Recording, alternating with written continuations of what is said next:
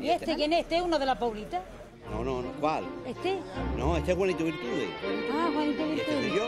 Este eres tú. Para mí fue que yo lo más grande del mundo. Yo tenía 13 años. Iba para el colegio y todavía no había colegio aquel día. Llegué a mi casa yo tenía unas botas de esas que tenía una suela en medio de cartón y estaban que parecían... No estaban preparadas, ¿no? Claro, está. A la media hora me tuve que meter en la cama. Los pies congelados.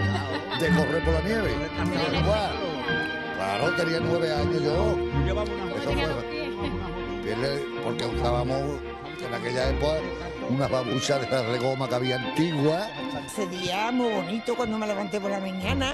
No hice nada, sino que me fui con todos los chavales por ahí a jugar y a hacer muñecos. Como loco, no ese día Muy no hubo colegio, ¿no? No, no hubo colegio.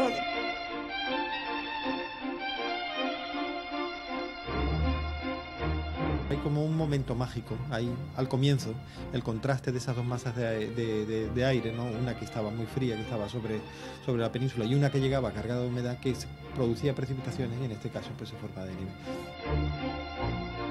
Hacían montones de nieve a esta altura en las calles.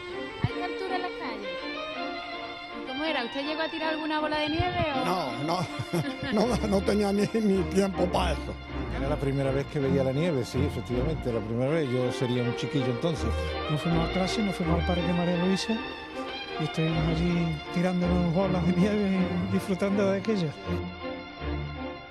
No esperemos otros 55 años, yo no lo voy a ver, ni mucho menos.